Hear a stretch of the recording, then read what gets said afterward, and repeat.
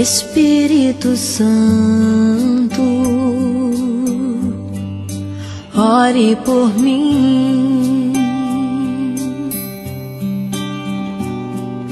Leve para Deus tudo aquilo que eu preciso. Espírito Santo, use as palavras